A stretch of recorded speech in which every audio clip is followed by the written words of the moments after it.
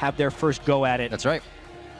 Honestly, while EDG did pick up a lot of beef early on, AHQ has picked up a lot of stuff that can just sit in that beef and hopefully marinate a little bit and finish them off.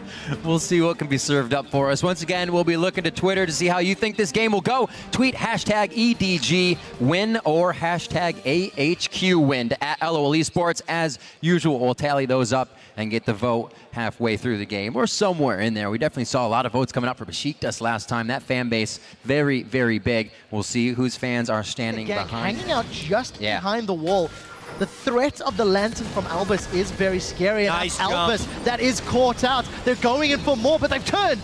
It's going to be Mountain as well coming into this fight. Can he get over the wall? He wants to use it to actually pop somebody up, so he's waiting, and he may just let him walk out. Deft very low on mana. He's the one to get grabbed. Forces the flash out. Oh! Ignite onto Deft. He's chugging the potion, but it's the hit coming in from Albis, and they keep going for clear love, but get knocked up by Now here comes Pawn. He's instantly exhausted. AHQ fighting a battle on two fronts, and looking for Pawn, but it's Meiko that's in trouble. He will get turned into beef steak as Mountain as well as Westdoor combo. AHQ with the first two kills. And now it becomes more about the Dragon. Remember, a Sejuani at level 6 is a terrifying thing if he can land that Glacial Prison.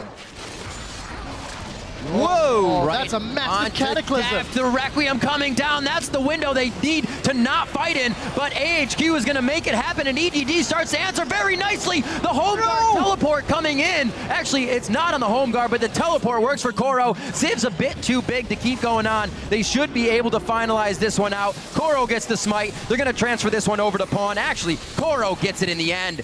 And a four for two in favor of EDG. Dragon 4H, you can HQ2 contest, but Speed trying on Deft. He wants to swap. Oh, he's going to get the swap. Meiko knocks him up. And oh. can he get to the left? Oh. No, because he's knocked away from it. It's not over yet as the teleports come in for more action. Deft cuts him down. He wants more body parts to attach to that Urgot. Mountain now onto Deft. This didn't work last time, and Mountain's actually forced to flash out. Ziv doing some work on the backside, but he was really being peeled by Meiko as EDG starts to scramble and find the members of AHQ. One for two there's no reason for Clear Love to go elsewhere right now. He knows Koro is free farming and will outscale at this point. And here we go. Maybe if Clear Love would have been there, the one time he's not. Requiem window coming in. Can they make the Nightmare?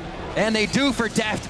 Meiko's now going to have a tough time getting out of this, but we got a double rotation down Clear Love as well as Pawn. To take advantages off of and look at the minimap. Koro is already in the mid lane. Ziv trying to make his way down, but Mega Gnar's active. That's a smite down onto Westdoor. The exhaust is replied. They're trying to get him down. EDG is on the Dragon right now. Grabbed by Clear Love. Koro gets out on that one. Whoa! Oh, and misses and gets immediately swapped by Deft to save it. He then goes into the fight. Mountain still with his ultimate up, but I think it's all disengaged from this time out for AHQ. There's the Fate's call. He's back in. Game, but it missed. It completely missed. And HQ actually still wants it. It's one of those super tank fights that we keep talking about. Deft running low on mana, has down to the bottom lane, oh. and has got a kill onto Meiko. Oh, but here comes the power pony. Koro's got one, Clear Love with another. Mountain is in retreat, but it's not enough. Ziv goes down, and that's an EDG whitewash. AHQ to kill Koro at this point in the game. They, they have very few tools to do so.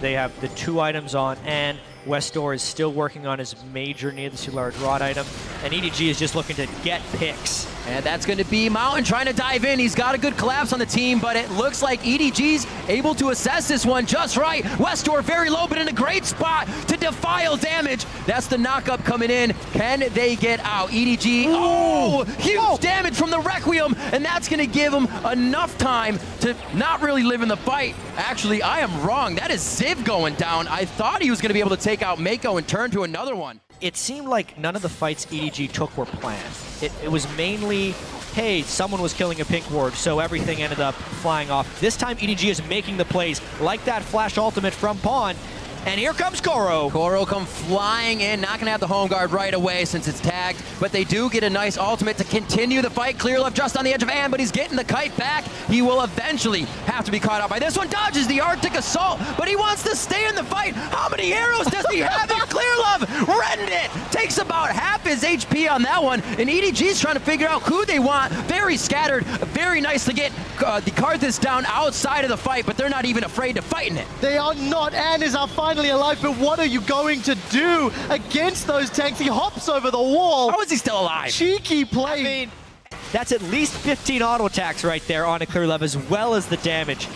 No, couldn't get him. No, he couldn't, but Koro does find An. An's in trouble and he is down. Westdoor gets caught by the Glacial Prison. He's in full retreat. And EDG a running rampage of AHQ. Ziv not even close to getting a Gnar. They all have to scatter. A triple kill coming in now for Koro. The legendary horse, 10-0-6. And Deft is going to finish off Albis just to boot on the fight. That's at least 15 auto attacks right there on a clear love, as well as the damage. No, couldn't get him. No, he couldn't, but Koro does find An. An's in trouble and he is down. Westdoor gets caught by the Glacial Prison. He's in full retreat. And EDG a running rampage of AHQ. Ziv not even close to getting a Gnar. They all have to scatter. A triple kill coming in now for Koro. The legendary horse, 10-0-6. And Deft is going to finish off Albis just to boot on the fight on EDG as well. Everyone on their team, when they're right. in range of the locket, has over 100 magic resistance. Uh, more on some people, so not even a Void Staff on Westdoor. Even if he sits in the middle, they're done. Goodbye, and the insta-flash from Deft AHQ now scattering. Despite that fantastic Gnar, it's not going to be enough. Koro dives the backline of the Onslaught to Shadows. Westdoor is down. Requiem starts to get channeled, and here's the damage on EDG. Still, it's that end damage now, and not enough to keep them alive in the fight. It's really not even tickling EDG EDG at this point as they have the base to themselves. They ace AHQ. They get a lead. They know how to hammer it home. They still have the Baron buff. That's a five for one. They're pushing on the Nexus. We know this is how EDG does it. Once they can go for Baron, they go for the win. It's almost a prerequisite to every one of their games, whether it's at 20 minutes or now at 34 minutes. 28 to 10. EDG come out strong with a 35 minute game over AHQ, and Deft sacrifices himself. What a fantastic win for EDG. A lot so of skirmishes. Risks. So few risks, though, on EDG side. Yeah, measured early game, committing to fights